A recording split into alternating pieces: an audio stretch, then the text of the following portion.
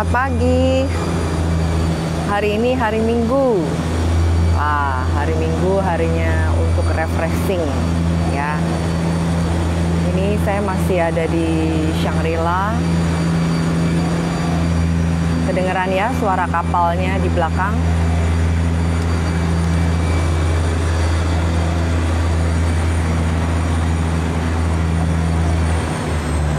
View di hotel tempat saya stay di Bangkok ini memang menghadap river. Jadi bersebelahan langsung dengan sungai. Ya, sungai namanya Chao Phraya ya. Sungai di Bangkok yang besar.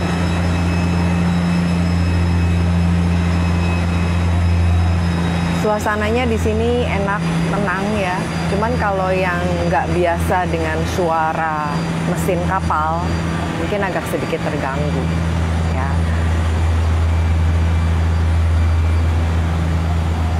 Tapi it's okay. Pemandangannya bagus banget. Yuk kita lihat dari dekat.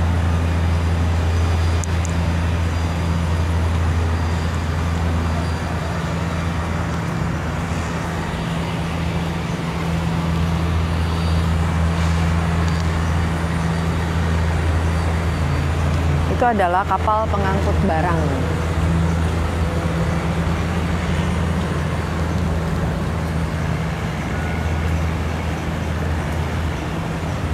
Jadi dengan adanya transportasi air ini, maka uh, pengangkutan kebutuhan sehari-hari biasanya menggunakan kapal sehingga nggak ganggu jalanan untuk mobil pribadi ya untuk kendaraan pribadi. Nah anda bisa lihat di atas itu ya yang di atas itu adalah jalan tolnya.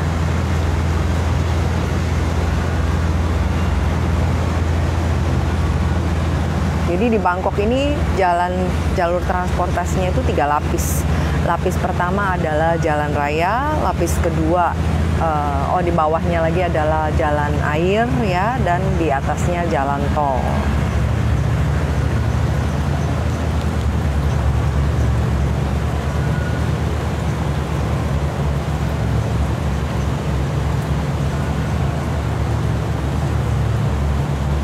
Di sini sungainya uh, banyak uh, eceng gondok ya eceng gondok.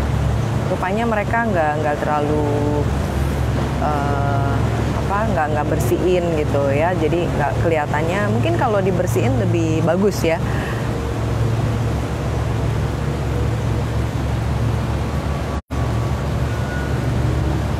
Jadi kelihatannya kotor gitu kalau ada eceng gondoknya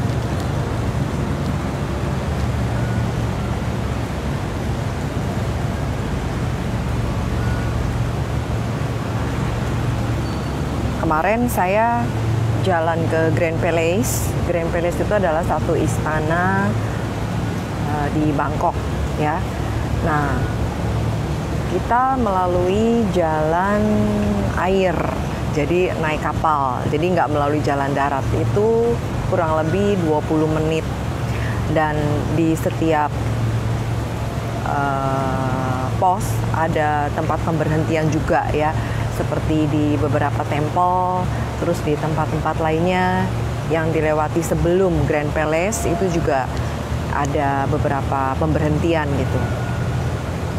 Nah, dulu mentor saya pernah mengatakan ya baru waktu pertama kali saya terjun ke bisnis, mentor saya bilang, kalau kamu mau kaya, kalau kamu mau kaya raya, ya kamu jangan selamanya jadi karyawan. Nah dulu saya nggak yakin nih sama pernyataan ini. Masa sih, masa sih karyawan nggak bisa jadi miliuner gitu, nggak bisa jadi karya kaya raya. Itu dulu tanda tanya ya waktu saya pertama kali terjun ke bisnis ini. Setelah tiga tahun saya di bisnis internet, akhirnya saya menyadari benar apa yang dikatakan oleh mentor saya itu 100% exactly benar banget. Karena saya mengalaminya sendiri. Jadi waktu saya terjun ke bisnis internet, ini saya berangkat dari zero sama sekali, ya. Modal modal besar nggak punya, pengalaman bisnis nggak ada, nggak punya banyak temen. Dulu saya kuper ya, terus nggak punya produk lagi untuk dijual. Nah, jadi banyak banget kekurangan saya gitu. Namun ketika bergabung dengan komunitas bisnis, saya jadi banyak sekali belajar, terutama adalah mindset dari pola pikir ya. Nah, pola pikir ini sangat penting. Sangat penting untuk merubah karakter saya, merubah kebiasaan saya, merubah hal-hal yang dulunya bahkan nggak terpikir oleh saya gitu. Saya melakukannya dengan sepenuh hati. Salah satu pola pikir yang menyebabkan kenapa karyawan itu nggak kaya-kaya, ya, nggak seperti halnya seorang pebisnis atau entrepreneur. Adalah kalau karyawan tuh kebiasaan kalau kita nunggu gitu. Jadi nggak punya inisiatif sendiri, nunggu, nunggu dikasih tugas. Kalau udah selesai nunggu tugas berikutnya. Jadi coba Anda perhatikan. Kalau Anda sebagai bos ya di perusahaan mana pun tempat Anda kerja, Anda pasti punya yang namanya goal. Iya kan? Punya tujuan gitu. Anda mau arahkan karyawan Anda ke mana? Anda mau kasih tugas apa ke mereka? Nah, sebaliknya, kalau kita di posisi karyawan, kita terima jadi. Kita tunggu aja habis tugas ini selesai, kita dibayar ya, gajian jalan terus tiap bulan itu yang penting. Lalu kita nunggu next jobnya. Tugas berikutnya apa gitu. Jadi dari situ aja udah kelihatan banget bahwa yang namanya pebisnis itu lebih maju selangkah dibanding dengan pekerja biasa gitu. Ya. Nah, lalu habit yang berikutnya misalnya, pola pikir yang berikutnya apa yang menyebabkan karyawan kok susah gitu jadi kayaknya. Ya, kalau selamanya jadi karyawan. Pada saat mendapatkan uang misalnya ya, mendapatkan uang, mendapatkan gaji gitu.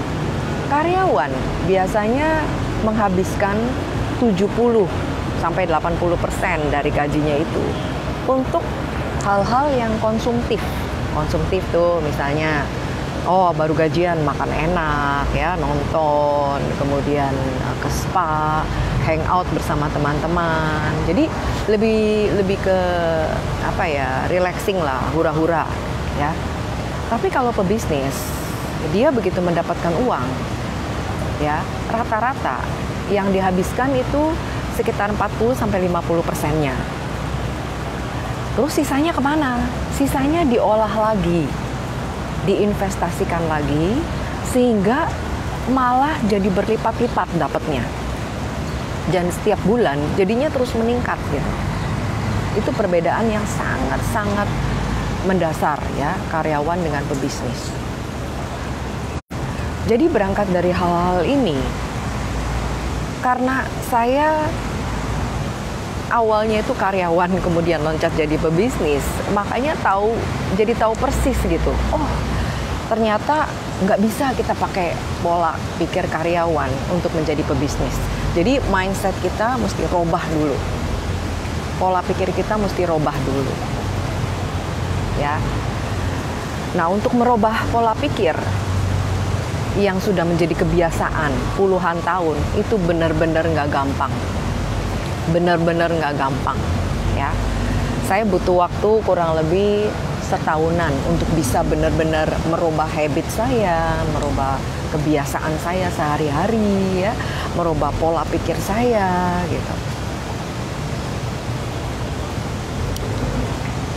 Jadi kalau anda mau kaya raya memang niat Anda untuk jadi milioner. Anda nggak mau hidup yang biasa-biasa aja. Anda mau memberikan atau memiliki hidup yang lebih baik. Apalagi bisa membantu lebih banyak orang. Mumpung Anda masih hidup. Ya. Nah, saran saya jangan selamanya jadi karyawan. Saya nggak bilang bahwa menjadi karyawan itu hal yang buruk hal yang jelek. Enggak, sama sekali enggak. Karena apa? Karena saya juga dulunya karyawan gitu. Saya nggak mungkin langsung terjun jadi pebisnis. Mana ada? Saya nggak punya pengalaman bisnis. Ya, saya harus belajar dulu. Belajar apa? Belajar kerja, belajar kerja sama dengan orang, berhubungan dengan orang itu bagaimana.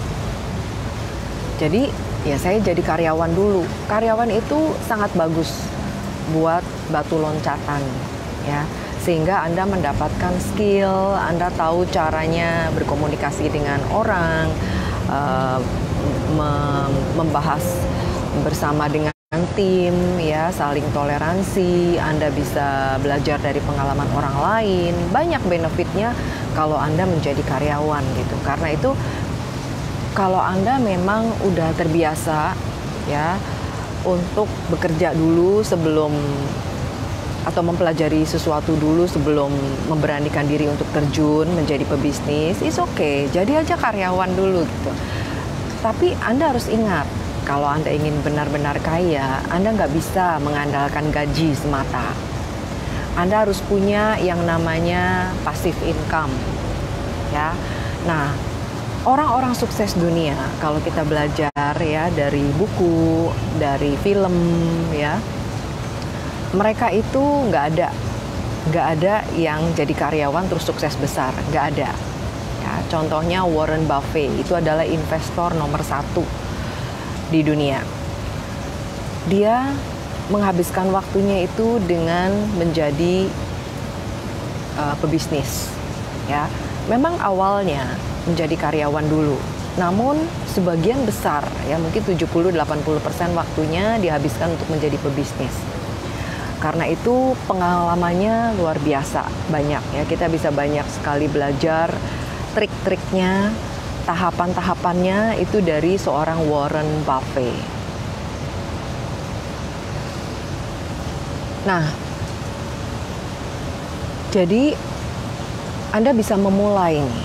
Kalau Anda masih nyaman sebagai karyawan, ya, anda harus mulai memikirkan masa depan Anda dan apa passion Anda. Apa sih yang ingin Anda raih gitu dalam hidup ini? Karena setiap orang itu memiliki satu kemampuan gitu. Kalau diasah itu dia bahkan bisa menjadi lebih besar. Jauh-jauh berlipat-lipat dibanding apa yang ada di pikirannya gitu. Jadi hal-hal yang sepertinya nggak mungkin itu bisa menjadi kenyataan kalau Anda bisa menggali apa sebenarnya yang menjadi passion Anda dalam hidup ini. ya, jadi Anda harus mulai menggali. Kalau Anda nggak mulai dari sekarang, Anda akan benar-benar terlambat. Dan seperti kata pepatah yang namanya penyesalan itu datangnya belakangan, betul ya. Tapi kalau udah nyesel, Anda nggak bisa membeli waktu kembali gitu. Misalkan Anda udah jadi miliarder ya, Anda ingin mengulang lagi, Anda ingin membeli waktu tuh nggak bisa. Karena itu Anda harus bersiap dari sekarang. Jangan tunda lagi untuk memiliki uh, sesuatu yang merupakan passion Anda, yang Anda bisa berikan kepada orang lain dengan lebih baik lagi. Nah, untuk memulainya bagaimana? Untuk memulainya banyak cara sederhana yang Anda bisa ambil. Jadi, Anda jangan kebingungan gitu. Ya. Dulu saya nggak bingung karena saya langsung tanya-tanya sana sini waktu mulai mencari-cari bisnis apa gitu yang cocok buat orang kaptek seperti saya. Saya mulai cari sana, cari sini, tanya sana, tanya sini, search ya. Apalagi sekarang di era internet anda bisa searching aja di Google ya. Uh, itu bisnis apa sih yang cocok untuk Anda? Nah, Anda bisa mulai. Anda bisa mulai telitiin dari sekarang. Yang mana yang kira-kira cocok? Nggak semua bisnis cocok untuk semua orang. Anda harus cari yang mana yang kira-kira Anda bisa mengerjakannya. Gitu, ya.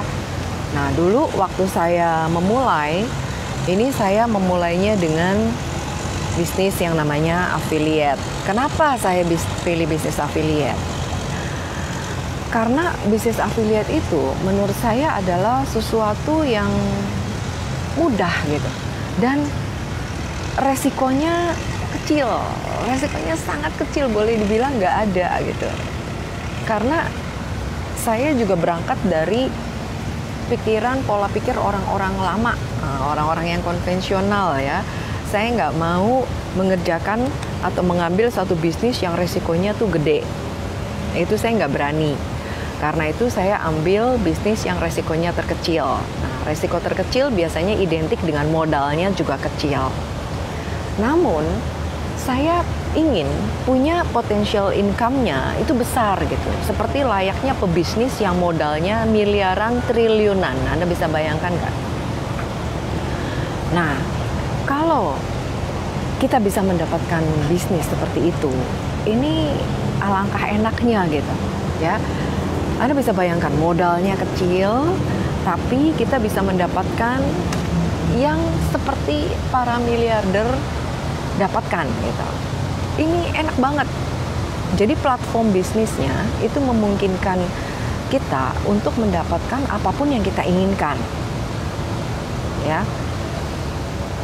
Nah, untuk mendapatkan affiliate kalau saya lihat ya tiga tahun yang lalu dibanding sekarang itu berbeda ya.